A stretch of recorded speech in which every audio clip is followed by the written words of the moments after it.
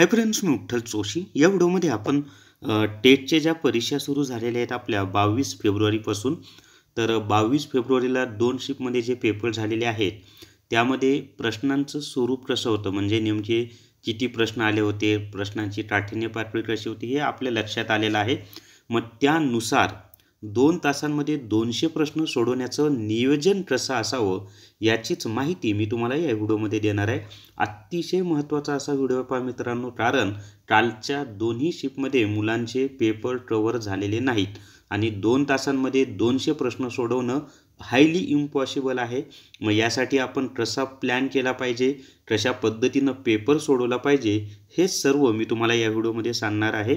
आणि प्रॅक्टिस करण्यासाठी जर तुम्हाला टेस्ट सिरीज लावायची असेल तर प्ले स्टोरवरून विठ्ठल जोशी ॲप डाउनलोड करा आणि टेट टेस्ट सिरीज विकत घ्या.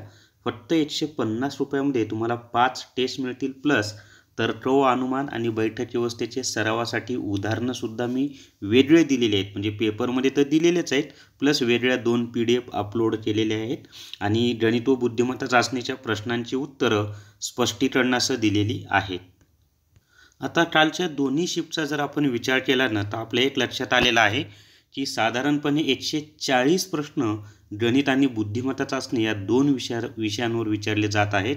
आणि उर्वरित जे साठ प्रश्न आहेत ते मग मराठी इंग्लिश आणि आपलं जे अवकाशीय क्षमता म्हणजे शिक्षकांचं वर्तन कसं असावं त्याच्यावर म्हणजे मानसशास्त्राचे उपयोजनात्मक प्रश्न विचारले जात आहेत. आता एक लक्षात असू द्या मित्रांनो की गणित बुद्धिमत्तेला वेळ जातो. मग तुम्ही याच्यावर उपाय काय केला पाहिजे माहीत आहे का? की जे मानसशास्त्रावरचे प्रश्न आहेत ना उपयोजनात्मक तिथे तुम्ही आउट ऑफ घेऊ शकता. समजा तीस प्रश्न असतील. एखादा नजर सुटेनं सुटू द्या एक दोन पण त्याच्यामध्ये साधारणपणे सत्तावीस अठ्ठावीस प्रश्न तर तुम्ही म्हणजे सत्तावीस अठ्ठावीस मार्क्स तर हमखास मिळवूच शकता. तसंच मराठीचे प्रश्न अतिशय सोपे आहेत. त्यामुळं मराठीचे साधारणपणे पंधराच्या आसपास प्रश्न कालच्या दोन्ही शिपमध्ये विचारले होते. तर ते एक प्रश्न सोपे आहेत ज्याच्यावर आपण हमखास मार्क्स मिळवू शकतो.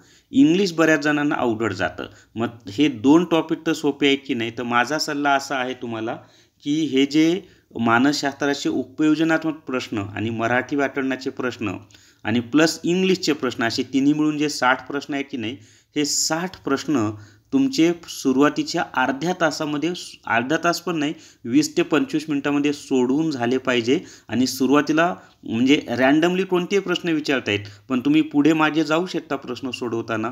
तर स्पीडमध्ये जर गणिताचा प्रश्न लगेच सुटत असेल तर सोडवायचा. नाहीतर लगेच आपले हे जे प्रश्न आहेत मराठी इंग्लिश आणि मानसशास्त्राचे जे की त्यातल्या त्यात मराठी आणि मानसशास्त्र जिथं तुम्ही आउट ऑफ मार्क्स मिळू शकता. मराठी तर खूपच सोपं विचारतात तिथं तर आउट ऑफ मार्क्स मिळालेच पाहिजे तुम्हाला. आणि मानसशास्त्र हे खूप सोपं आहे की फक्त उपयोजनात्मक प्रश्न आहेत. आता चारपैकी जो सर्वात जास्त आदर्शवादी पर्याय आहे तेच तुम्हाला उत्तर द्यायचं आहे बेसिक कन्सेप्टवर प्रश्न नाही आहे शास्त्रज्ञ उपपत्ती याच्यावर प्रश्न नाही. त्यामुळे तेही सोपं आहे. तिथेही तुम्ही आउट ऑफ मार्क्स मिळू शकता. म्हणजे मानसशास्त्रावर जर तुम्ही तीसपैकी अठ्ठावीसचे प्रश्न प्रश्न बरोबर आले मराठीमध्ये पंधरापैकी तेरा चौदा प्रश्न बरोबर आले तर इथेच तुमचा स्कोअर बराचसा पुढे जातो. इंग्लिशमध्येच पण सोपे सोपे प्रश्न तुमचे येऊन गेले तर स्टोअर येऊन जातो. हे झालं साठ प्रश्न सुरुवातीला सोडून घ्यायचे आणि त्याच्यानंतर गणित बुद्धिमत्तेला हात लावायचा. पण गणित बुद्धिमत्तेचे प्रश्न सोडवताना एक लक्षात ठेवा. जास्तीत जास्त एका प्रश्नाला तीस सेकंद वेळ द्या. तीस सेकंदाच्या आत जर तो प्रश्न सुटला तर ठीक आहे नाही तर कुठेतरी त्याला टिकमार करा आणि पुढे जा. कारण नंतर ते सोडवत बसायला तुम्हाला वेळ नाही. आणि सोपे सोपे प्रश्न मात्र तुमचे हमखास आलेच पाहिजेच म्हणत आहे मी. आणि मग अशा पद्धतीने तुम्ही राहिलेल्या दीड तासामध्ये गणित बुद्धिमत्तेचे प्रश्न सो सोडवा. आणि शेवटचं जे दहा मिनटं आहेत ना म्हणजे दीड तासामधले दहा मिनटं कमी करा. ते शेवटचे दहा मिनटं यासाठी ठेवा की जेवढे प्रश्न तुमचे सोडवायचे राहिलेले आहेत कारण दोन तासामध्ये एकशे चाळीस प्रश्न गणित बुद्धिमत्तेचे आणि चा साठ प्रश्न हे हे सोडवणं हायली इम्पॉसिबल असतं. ज्याचा खूपच प्रॅक्टिस आहे म्हणजे गणित पाहिलं की उत्तर गणित पाहिलं की उत्तर त्याच विद्यार्थ्याला फक्त दोनशे प्रश्न कवर होऊ शकतील. पण ते विद्यार्थी किंवा भविष्याचे त्यांची संख्या किती आहे हे तुम्हालाही माहिती आहे मी सांगायची गरज नाही. त्यामुळं शेवटचे दहा मिनटं यासाठी ठेवा की जेवढे तुमचे प्रश्न सोडवायचे राहिलेले आहेत त्याच्या समजा तुमचे वीस प्रश्न सोडवायचे राहिले तर काय करायचं माहिती ए बी सी डी असे चार ऑप्शन आहेत की नाही? तर कुठला तरी एकच ऑप्शन घ्यायचा. समजा तुम्ही सी ऑप्शन घेतला तर वीसला वीस प्रश्नांना सी सी सी सीच फक्त रोल म्हणजे जे काही तुमचं कॉम्प्युटरची सिस्टीम असेल त्याच्यावर टिटमार करत जायचं. सी सी सी. काय होतं की नैसर्गिक तत्वानुसार पाच सहा तरी त्यातले तुमचे बरोबर येतील. त्यामुळे शेवटचे दहा मिनटं यासाठीच ठेवायचे. जेवढे प्रश्न सोडवायचे बाकी आहेत ते सर्वांना असं ठुटका मारून यायचं. एकच कुठला तरी ऑप्शन तुम्ही धरा. आणि ते कसा धरायचा माहीत आहे का? तर आधी चा जो पावणे दोन तासामध्ये आपण जे प्रश्न सोडवलेले आहेत एक अंदाज येऊन जातो की कोणतं ऑप्शन जास्त वेळेला उत्तर आलेलं आहे.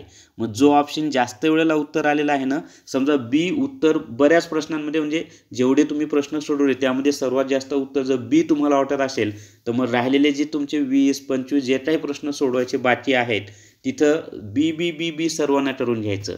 समजा डीचं असेल सर्वात जास्त उत्तर आलं तर डी डी डी डी करत जायचं.